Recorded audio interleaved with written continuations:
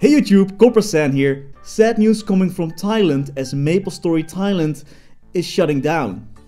Again. A little over two years ago the server was reintroduced and Nexon opened another office in Thailand to support this new reintroduction of MapleStory.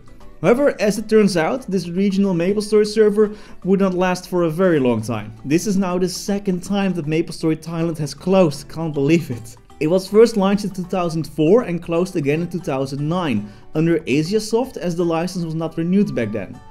And now the exact same thing happened again, but then with Nexon? An official notice was posted on the website saying the following. Since Nexon Thailand has officially terminated the service agreement in Thailand with the game developers, also Nexon, the team had to terminate the service for all inconvenience caused by the shutdown of MapleStory.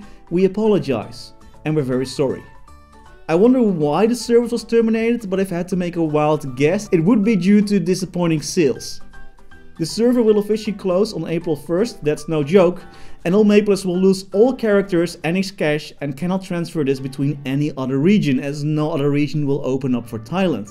I hope at one point Nexon will give this license that they own themselves to another Nexon office so people from Thailand can at least play again, but I'm not that hopeful.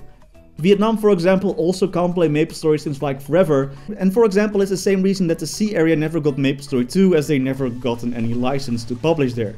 The Nexon office will remain open but will keep focusing on mostly publishing mobile games.